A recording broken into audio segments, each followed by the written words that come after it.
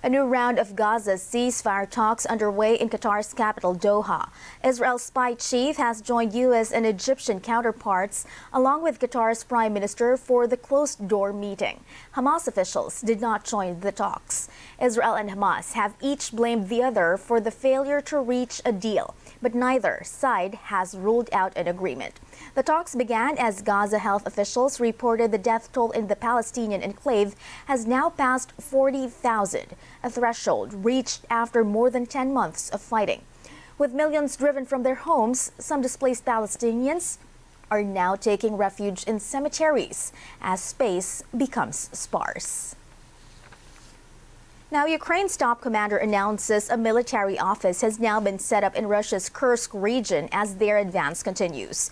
In a report to Ukrainian President Volodymyr Zelensky, Colonel General Alexander Syrsky says Ukrainian forces have now taken control of 82 settlements and an area of 1,150 square kilometers. Kiev's surge into Russian territory last week caught Moscow by surprise, seizing the initiative from Russian forces who have been grinding out small but steady gains all year in the east of the country.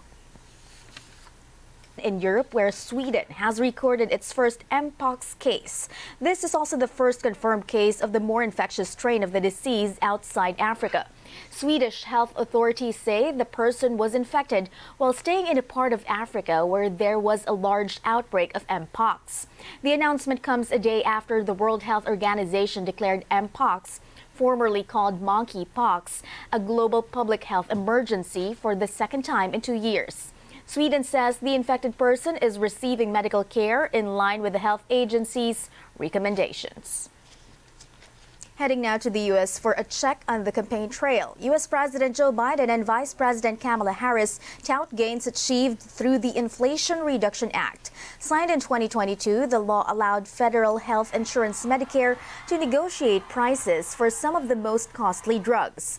The U.S. has now negotiated the prices of 10 top selling prescription drugs used by Medicare by as much as 79 percent. The Biden administration hopes to ease anger about high prices ahead of the November elections. Why are prescription drugs so expensive? I will tell you. Well, one big reason is for years, Big Pharma has often inflated the price of life saving medications. Often charging many times what it would cost to make just to increase their profits. And millions of Americans have suffered as a result. Though it was an official event, Biden turned his speech into a de facto campaign rally for Harris, whose tie breaking Senate vote allowed the law to pass. Not a single Republican voted for this bill, period. Not one in the entire Congress. Now, the reason I say it is not to make a political point about them not if they've gotten their lesson, but guess what? They want to. They the guy we're running against. What's his name? Donald Dump or Donald whatever. They want to get rid of this, what we passed. They, they're fighting to get rid of what we've just passed. No, I'm serious. No help from Republicans passing Inflation Reduction Act thanks to the tie-breaking vote of Kamala made it possible. Meanwhile, Republican presidential candidate Donald Trump continues to attack Harris on the administration's economic record. In a press conference at his New Jersey golf club, Trump blamed his Democratic rival for the inflation that has caused prices of everyday goods to rise during Biden's term. Harris has just declared that tackling inflation will be a day one priority for her. It's going to be day one. But day one, really, for Kamala was three and a half years ago. Where has she been? And why hasn't she done it? Why hasn't she done it? Inflation peaked in 2022 but has slowed significantly since then. But prices remain higher than they were before the pandemic.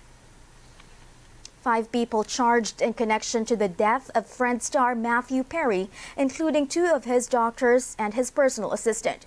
U.S. prosecutors say they preyed on Perry's history of addiction to provide him with ketamine in amounts they knew were dangerous. That investigation has revealed a broad underground criminal network responsible for distributing large quantities of ketamine to Mr. Perry and others. This network included a live in assistant, various go betweens, two medical doctors, and a major source of drug supply known as, quote, the ketamine queen. We charged five defendants in this matter. These defendants took advantage of Mr. Perry's addiction issues to enrich themselves. They knew what they were doing was wrong. They knew what they were doing was risking great danger to Mr. Perry, but they did it anyways. Prosecutors also revealed details of how the five took advantage of Perry's addiction issues. Perry had publicly acknowledged decades of drug and alcohol abuse. He was reportedly undergoing ketamine infusion therapy for depression and anxiety prior to his death. Defendant Plasencia was a medical doctor. He worked with another medical doctor, defendant Mark Chavez, to obtain ketamine. He then worked with Mr. Perry's live in assistant, defendant Kenneth Iwamasa, to distribute that ketamine to Mr. Perry. Over two months, from September to October 2023, they distributed approximately 20 vials of ketamine to Mr. Perry in exchange for $55,000 in cash. He wrote in a text message in September 2023, quote, I wonder how much this moron will pay. He also stated in text messages that he wanted to be Mr. Perry's sole source of supply. He wrote in a text message that he wanted to be Mr. Perry's, quote, go to for drugs. Perry died in October last year at the age of 54. An autopsy report concluded he died from acute effects of ketamine, which caused him to lose consciousness and drown in his hot tub at his Los Angeles home. Toxicology tests also found Perry's body contained dangerously high levels of ketamine. It's not a cruel summer in London as global pop superstar Taylor Swift's return to Wembley Stadium pushed through as planned. Security was evidently tighter following the foiled terror plot in Vienna last week, which forced the cancellation of her shows there.